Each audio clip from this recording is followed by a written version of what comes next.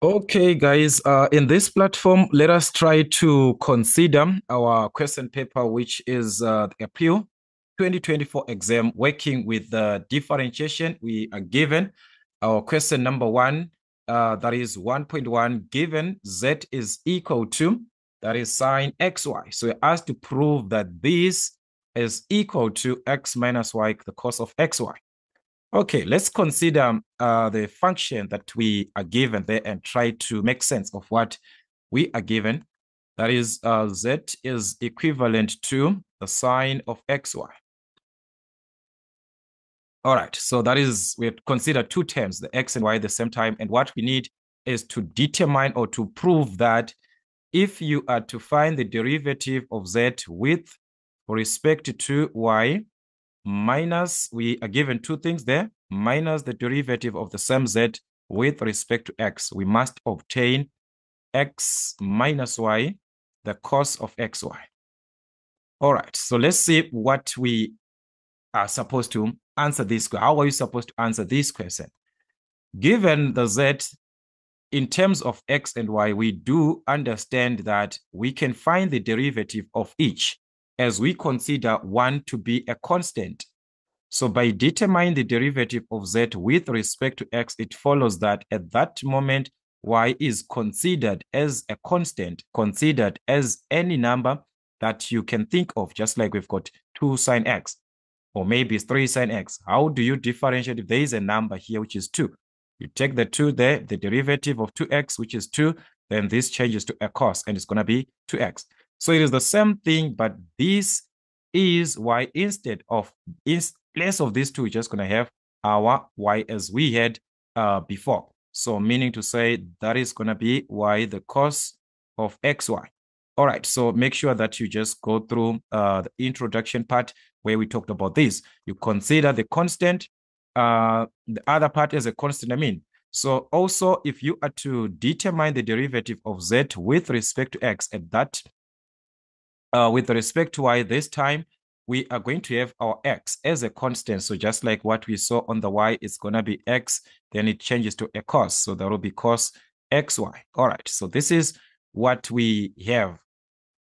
On our question, we are just given the subtraction, guys. That, that, is, that is what we have there. We're just given that these two are, are supposed to be subtracted.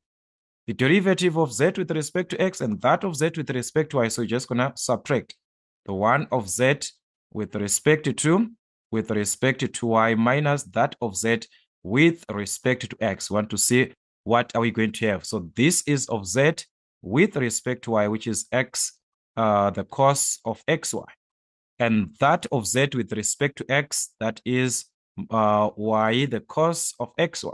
So by considering this, we can just say there's a common term uh, to be considered, which is the cos of xy, also the cos of xy here. So we can factor out uh, the cos of xy. So if you factor out this, what are you going to remain with? And this term, you're going to remain with x.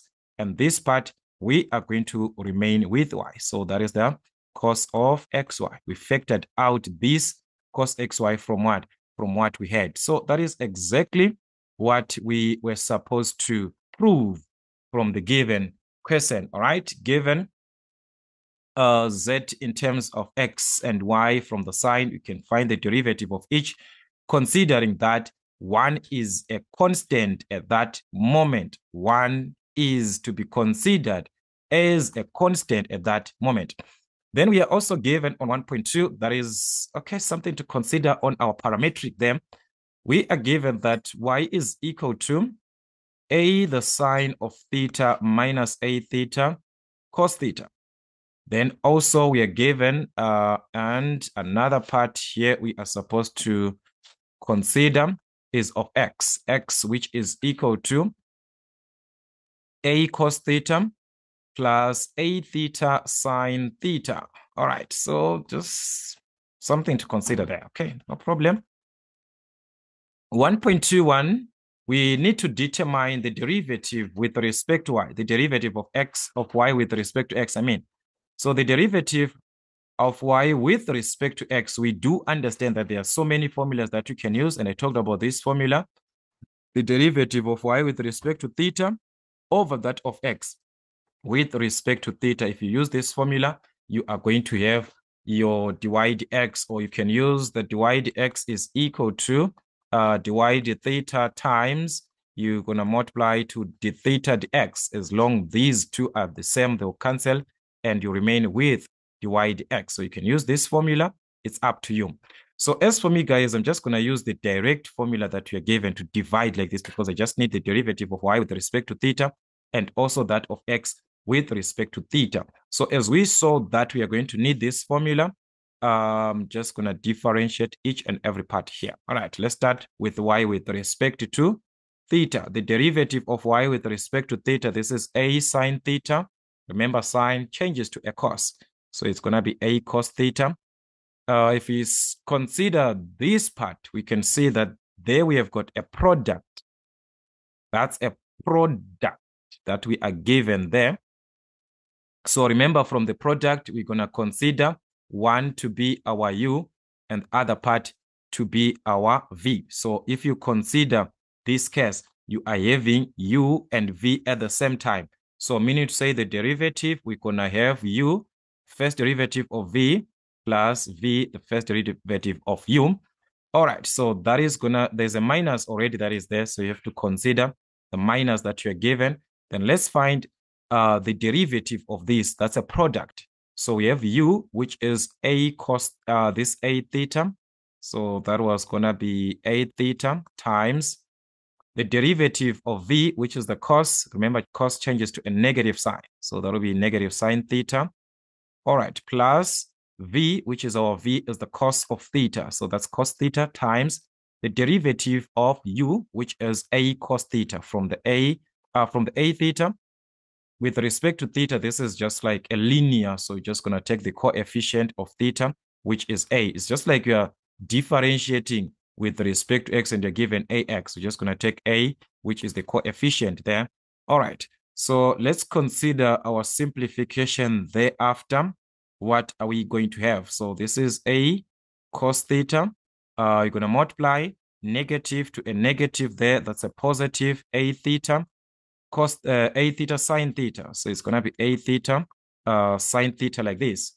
Then you multiply the negative to a positive. So that is going to be a negative. So that's negative a, the cos of theta. So by just looking here, we can see that these two are common and they can cancel out the a, a, a cos theta. So that's that means we're going to have the derivative of y with respect to theta as this term, which is a theta sine of theta. All right, let's just leave it like that. Let's just leave it like that. Let's move on to the part of uh, x and do the same. So that's the condition, guys. We just have to be very careful.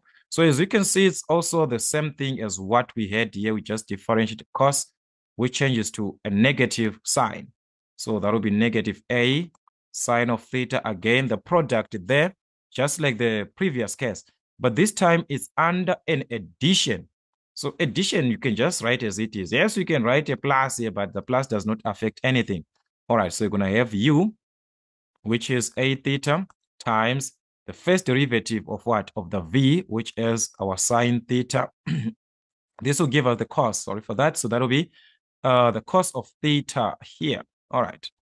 So then we need plus, so that will be plus v, our v, that is the sine of theta as it is, then you differentiate u, which is a theta, just like what we saw on cos that gave us what? That gave us a. So meaning to say this is simply times what? Times a. All right, so like I was saying, the effect of a positive, actually, we do not see the effect of a positive because positive times anything just going to remain as it is. So that's, yeah, it's just going to be a theta cos theta. Then positive, positive, that will be positive a sine theta. All right, so at the end, we can say that we've got common terms minus a sine theta and a sine theta. These two can cancel. Then we've got a theta cos theta. So we've got the derivative of x with respect to, to theta. And from this other hand, we had the derivative of y with respect to, to theta. So that's the concept. You are going to need the derivative of each so that we can determine the derivative of y with respect to x from the formula that I wrote dy over the theta over the derivative of x with respect to theta. So we can just substitute uh, what we are given in this case, what we calculated. That derivative of y with respect to theta, we have it, that derivative of y with respect to theta, that is a theta sine theta. Everything over that derivative of x with respect to theta, which gave us a theta cos theta like this. All right, so this can be simplified further. We can simplify uh, further this simplification that we have. All right, so the A, the A cancels theta, theta. Remember from your trigonometry, sine over cos, that's a tan. So that was going to be a tan theta in simplest form. So it means wherever we are seeing dy dx, we are going to take it as what? The tan of theta. That is the tan of theta in simplest form. All right, let's move on quickly to another part and see what we are given. So I'm just gonna find, sorry for that. I need this patent. I don't know, guys, you see this softwares. So anyways, let's see what we got here. I'm just gonna need one or two from what we calculated. Anyways, okay, I'm just gonna remove this. Let's see our question. This one is just a continuation, finding the second derivative of y with respect to x. From this, we can consider also the formula that we are given. Remember from our formula sheet, we are given d d theta uh, of dy dx times d theta dx. So it must be a times d theta dx. Are also given this from your formula sheet. So if you consider this, it simply means the derivative with respect to theta of this part that we got, the derivative with respect of this dy dx, the derivative with respect to theta of dy dx, which we got in this case. Sorry, I'm just gonna refer back. Need to remove this. All right, so just gonna refer to them dy dx. Remember, we calculated this and it gave us what? A tan of theta. So in place of this dy dx, we're to write a tan of theta times d theta dx. So this, this is not dx d theta. It's d theta dx. There, what are we having? We are having dx d theta from those calculations that we made, remember, from that uh, product rule.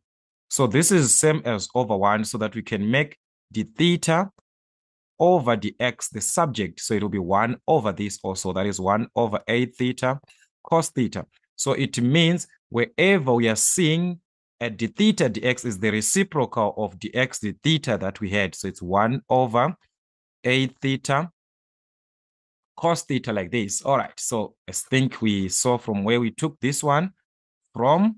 All right. Let's inter uh, let's differentiate here. If we integrate, uh, I mean, differentiate our tan there, that will be a sec squared. So remember, there's a derivative with respect to theta. So remember tan, that's sec squared. So that's going to be sec squared theta times.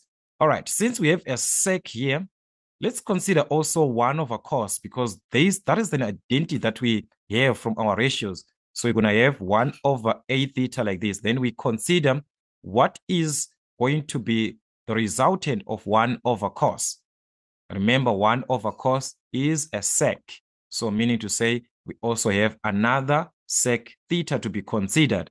So what does it mean? We can multiply the sec to the sec, right? So we're going to multiply the sec to the sec. Let's just remove this. So multiplying the sec to the sec, we're going to have 1 over a theta times sec squared to the sec theta. We are going to consider exponents, just like the bases are the same the sec theta, the sec theta. So you add the exponents 2 plus 1, which is a 3. So that is going to be sec cubed theta. All right, so that is our derivative, the second derivative of y with respect to x. So therefore, we're going to have our second derivative of y with respect to x. And as we can see, they're saying with respect to x, but our answer won't be in terms of x. That is the major part that you need to consider. The answer is in terms of theta, even though we are saying with respect to x there, answer will be in terms of theta. So you need to take note when you're dealing with the second uh, derivative of a parametric, the answer will be in terms of what you are given there before, not in terms of that x for the second derivative. Uh, and also for the first derivative, it's a dy dx, but we saw that our dy dx is something that was carrying a theta. This one, dy dx. Look, this is not a theta, this is not x, the theta that we have. So the parametric, we are having answers in terms of what we are given, not in terms of what we are used. Say if this is x, we are also supposed to have our answer as x. No.